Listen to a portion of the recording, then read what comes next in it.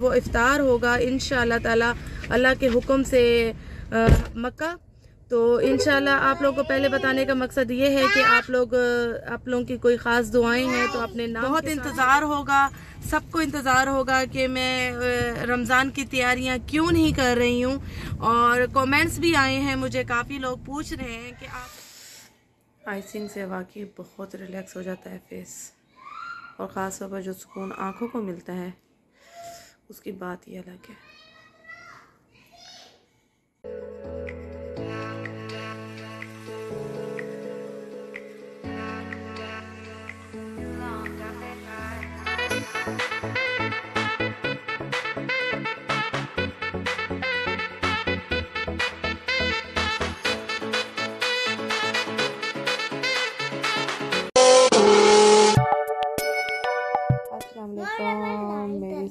सारी Soni YouTube family कैसी है अलहमदिल्ला हम लोग भी हैं।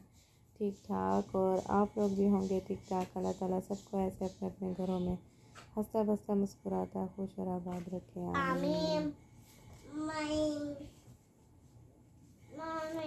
मोहम्मद?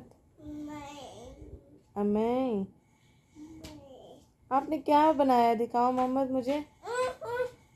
आप दे, आप मुझे दिखाओ क्या बना रहे हो आप?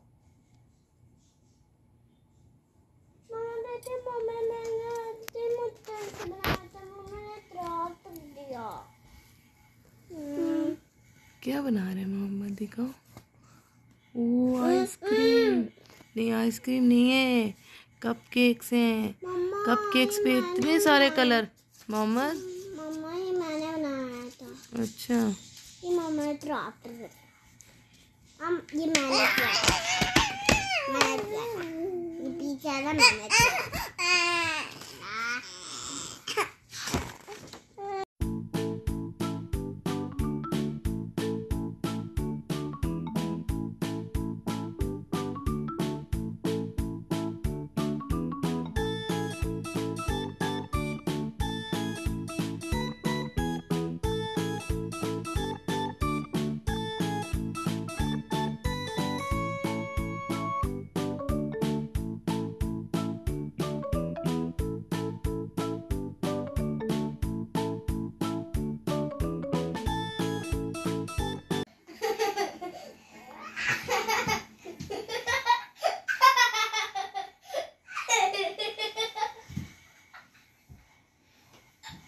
ऑयल लगा रहे हैं ऑयल ऑयल आप ही को ऑयल लगा रहे हैं, मोहम्मद? नहीं भाई, मार पिट रही है।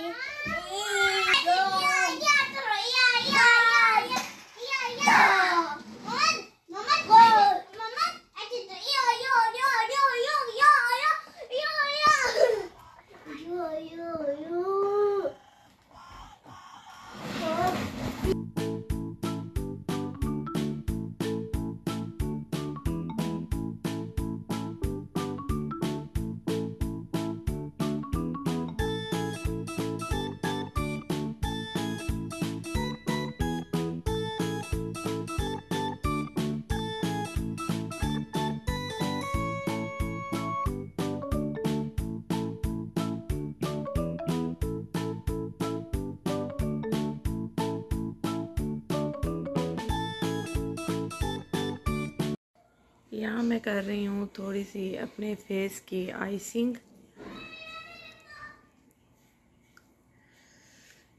इतना सुकून मिल रहा है ना अपने फेस की।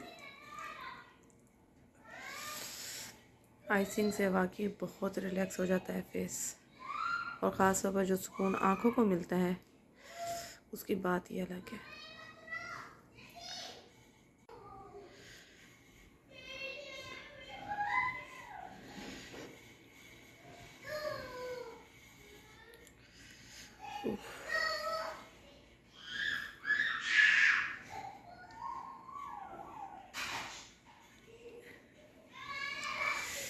अच्छी खासी मैंने आइसिंग कर ली है और बहुत रिलैक्स हो गई हूँ। एलोवेरा जेल यूज़ कर रही हूँ और साथ में जी वैटामिन ई ऑयल का मैंने दो तीन ड्रॉप्स डाले हैं। जी आइसिंग करने के बाद जी मैं अब अपनी फेस पे मसाज करूँगी। इससे जिसमें मैंने एक चम्मच एलोवेरा जेल डाली है और वैटामिन ई ऑयल का एक टी स्पून भर के मैंने डाला है। और अब मैं आइसिंग के बाद अपने फेस की जो है, इससे मसाज करूँगी। ये इस तरह से स्मूथ सी क्रीम बन गई है। इसको जब मैंने मिक्स किया इन दोनों चीज़ों को, ये एक स्मूथ सा जो है ना पेस्ट बन गया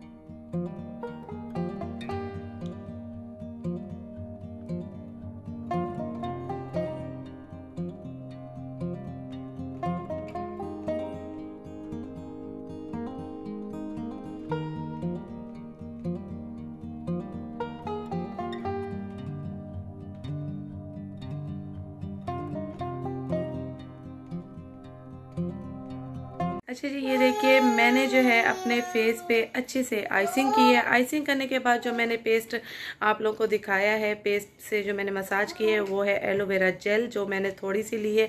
और मेरे पास वैटामिन ई ऑयल की जो है बोतल है जो कि फार्मेसी पे इजीली मिल जाती है।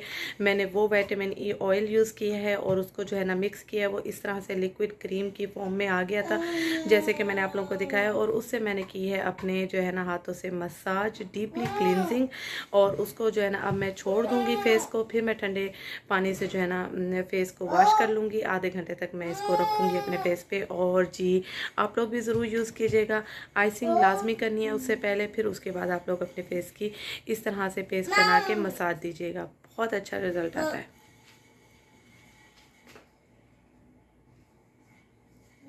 मैंने अभी पोनियाँ बांधी हैं तो ये मोहम्मद साहब अपनी पोनी लेके आए हैं। और ये ज़िद कर रहे हैं कि मेरी भी पौनी बांधो। है मोहम्मद, ऐसे होता है क्या? पौनी बांधो, आपकी भी? या ज़िद कर रहे हैं कि मेरी भी पौनी बांधो। ऐसा हो, ये, वो एक अच्छा दो पौनी बांधनी है, एक भी नहीं, जैसे जैनब की है। जैनब के साथ हो रहे हैं मुकाबले।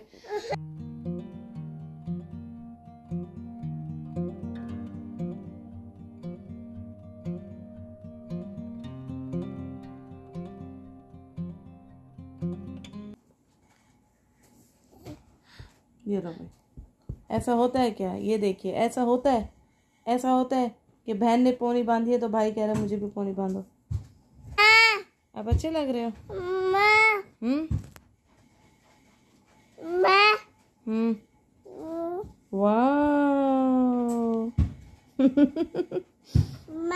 हम्म। हम रेडी हो गए हैं और जी बाहर निकलने लगे हैं डिनर के लिए। तो डिनर हमें आज क्या खाते हैं, कुछ समझ नहीं आ रहा है वैसे। तो वो भी मैं आप लोगों को जाके बाहर ही शेयर करती हूँ। मोहम्मद साहब आ रहे हैं मेरे पीछे पीछे। आओ मोहम्मद, चलो। गाड़ी कहाँ लेके जा रहे हो आप? गाड़ी कहाँ लेके जा रहे हो? चलो चलो। ये लेकर आ रहे हैं मेरे पीछे पीछे गाड़ी। चलो, बच्चे भी रेडी हो चुके हैं।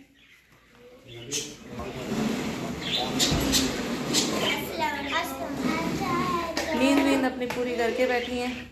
आज इनके सही नेल्स साफ़ हुए हैं। जैसे कि मैंने दिखाया है नेल्स इनकी नेल्स की सफ़ाई हुई है, पाँव की सफ़ाई हुई है, नहाए। आज काफ़ी इनकी सफाइयाँ हुई हैं। हैं मज़ा आया था? नेल साफ़ करवाते हुए। मोहम्मद साहब को बड़ा मज़ा आया। है मोहम्मद? चलो। जी, खाने में बच्चों के लिए अदील साहब कह रहे हैं कि मैकडोनल्ड ही ले लेते हैं। बच्चे मैकडोनल्ड खा लेंगे क्योंकि लाइट सा खाना है। वो इस वजह से कि 10 बजे 11 बजे अम्मी के घर होता है डिनर हमारा। अम्मी के घर होता है खाना, बिरयानी अम्मी बनाती हैं तो वहाँ पे, वहाँ के लिए भी जगह रखनी होती है पेट में। तो इस वजह से हम यही सोच रहे हैं कि लाइट सा कुछ खा लेते हैं। तो मैकडोनल्ड के बर्गर बच्चों को दिला रहे हैं और मैं मैं और अदिल खाएँगे जॉन बर्गर। मरजान बर्गर। अच्छा जी, वो कोयले का होता है, ज़रा उसकी खुशबू बड़ी मज़े की होती है, वो मुझे बहुत पसंद है। तो एक बार मैंने व्लॉग में शेयर भी किया था तो बस वही हम लेंगे।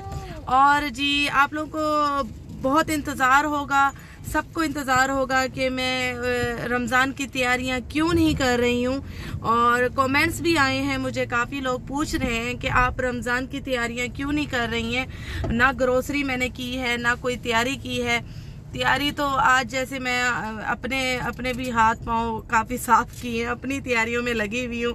लेकिन मैं रमज़ान की तैयारियाँ क्यों नहीं कर लेकिन रमज़ान में अपनी सफ़ाई भी हिफ्स ईमान है। तो आ, वो भी आ, बंदे को अपने नेल्स वगैरह ये सब कट करने चाहिए तो बस आज मैंने यही किया।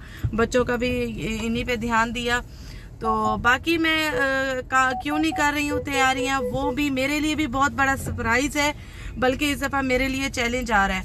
और जी, ये बच्चों के साथ चैलेंज आ रहे हैं। मैं क्या बताऊँ अब आप लोगों को, जब इनशाला मेरी तैयारी शुरू होगी तो आप लोगों को मैं बताऊँगी इन ज़रूर। आप लोगों से शेयर नहीं करूँगी तो किससे करूँगी? और जी, आप लोगों के लिए भी सरप्राइज़ ही होगा। और वो भी बता दूँ कि मेरा जो पहला रोज़ा है, वो इफ्तार होगा इन ताला, अल्लाह के हुक्म से मक्का। तो इनशाला आप लोगों को पहले बताने का मकसद ये है कि आप लोग, आप लोगों की कोई ख़ास दुआएँ हैं तो अपने नाम के साथ मुझे कमेंट सेक्शन में ज़रूर बताइएगा। मैं आप लोगों का नाम ले लेके इन ताला अल्लाह से दुआ करूँगी और अल्लाह हम सब की दुआओं को कबूल फरमाएँगे इन ताला। और हरम में रश काफ़ी है तो इस वजह से बच्चों को नहीं लेके जा रही हूँ। बच्चे रहेंगे अम्मी के पास तो मैं ही सिर्फ़, मैं और अदील करेंगे उम्र इन ताला। तो और मैं कहाँ जा रही हूँ? और किस जगह जा रही हूँ जिससे पहले मैंने जो है उम्र पे जाना है? और ये भी आप लोगों को इनशाला इनशाला ज़रूर बताऊँगी ज़रूर शेयर करूँगी। बस थोड़ा इन दिनों में मैं काफ़ी टेंस में भी चल रही हूँ क्योंकि मेरे लिए रम, रमज़ान का एक चैलेंज आ रहा है बच्चों के साथ। जी बस ये थोड़ा सा सरप्राइज़ रहने देते हैं। और बस ये दिल साहब चले गए इनके लिए बर्गर लेने। तो भूख लगी हुई है बच्चों को काफ़ी, क्योंकि बच्चे स्कूल से आए, फिर मैंने इनको नहलाया धुलाया, बच्चों को सुला दिया मैंने, क्योंकि अम्मी के घर पूरी रात हम लोग बैठते हैं, गपशप करते हैं।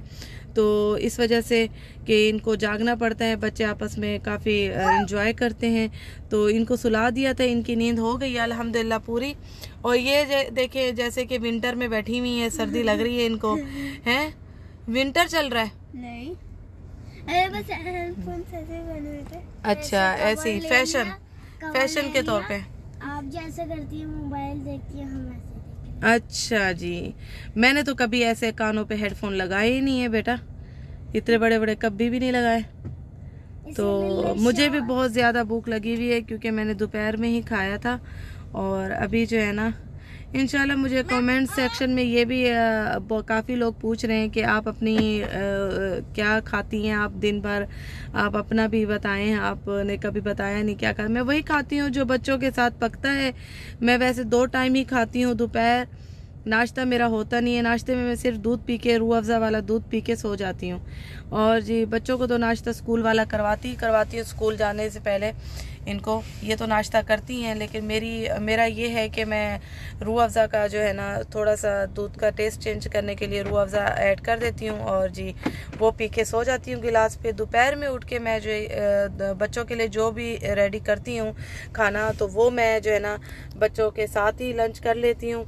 और जैसे कि शाम का खाना आप लोगों को पता है कि मेरे यहाँ सालन रोटी ही पकता है, ज़्यादातर या राइस पक जाते हैं। तो मैं शाम में छः बजे अदील के साथ वही खाना खाती हूँ। और बीच बीच में ये होता है कि बीच में कोई एप्पल काट के जैसे बच्चों को देती हूँ तो मैं खुद भी खा लेती हूँ। या मैं गाजर और एप्पल और ऑरेंज का जूस निकाल के लाजमी एक गिलास लेती ही लेती हूँ। तो वो मैं दिखाती नहीं हूँ। या तो मुझे अपना जो ख़ास एक रूटीन है जो अपनी वो मैं टाइम नहीं मिल पाता है नहीं निकल पाता है तो वो नहीं बना पाती हूँ। लेकिन बच्चों का जो है ना पूरा आप लोगों को दिखाती हूँ ताकि आप लोगों को हेल्प मिल सके। और बस अभी जो है ना मेरी हालत काफ़ी टाइट हो रही है बुक की वजह से। तो बस अदिल साहब जल्दी से लेके आ जाएँ और पेट पूजा हो जाए। खैर से यहाँ पे इन ताला हफ़्ते की सहरी होगी। अल्लाह ताला हर जगह के लगाएँगे, अल्लाह ताला हर जगह जी रहमतें बरसेंगी। रौनक ही रौनक होगी यहाँ पे। घरों में रौनक होगी, अवतार में, पहली अवतार में, और जो समा होता है, वो मगरिब का समा जो होता है, पूरे घरों का जो, माशाल्लाह जो रौनक होती है पूरे घरों की। अल्लाह ताला सबके रिस्कों में, खैर बरकत दे। अल्लाह ताला इस रमज़ान के महीने में हम सब की दुआओं को कबूल फरमाए। अल्लाह ताला हम सब के रिस्कों में बरकत दे, हम सब की परेशानियाँ दूर अता फरमाए और जिनकी बेटियाँ बैठी हैं रिश्तों के लिए, अल्लाह ताला उनके रिश्ते और उनके नसीब अच्छे करे। अल्लाह ताला उनके, जी, इस माह रमज़ान के सदक़े अल्लाह ताला उन सब के अच्छे अच्छे रोशन नसीब करे और नेक औलाद दे अल्लाह ताला हर बे औलाद को अल्लाह ताला हर बे रिजक को रिजक दे। आमीन। क्या हुआ क्या हुआ क्या हुआ क्या हुआ? होके बैठो? मोहम्मद को मोहम्मद की जगह पे वो बैठ गई हैं। यही होता है भैया। और मोहम्मद की कैब चेक करें ज़रा आप। ये पीछे को बैठे हैं। ये कैब के लिए चिल्ला रहे थे कि मुझे कैब चाहिए। पापा की कैब जो है ना इनको बड़ी पसंद है। कुछ नहीं आप खाओ। खाओ। वो सलाद होगी सलाद ऊपर। हाँ ओके ओके। अब्बा वैसे पीछे पीछे पीछे होके बैठो बेटा। मोहम्मद पीछे होके इजी होके बैठो आराम से ऐसे। ऐसे मम्मा का बेटा। मोहम्मद खाओ मैं इसको ना फोल्ड कर दूँ एक मिनट को। हाँ ताकि वो बर्गर अंदर से निकल ना सके। बस पकड़ो पकड़ो पकड़ो। खुश कर दें। हम्म। अच्छा जी अब मुझे ये आदिल साहब जो है लेने गए हैं बर्गर और ये है नाम बर्गर मरजान बर्गर। ये है शॉप। ये ताबा सेंटर है ना? ताबा सेंटर के बिल्कुल सामने है देखो मैं तो अच्छी खाती आ गया खाना। अल्हम्दुलिल्लाह अल्हम्दुलिल्लाह खाना खा लिया है। तो बस व्लॉग मैं इतना लंबा नहीं करूँगी। अपना बहुत सारा ख्याल रखिएगा मुझे दुआ में याद रखिएगा। ओके जी अल्लाह हाफिज़।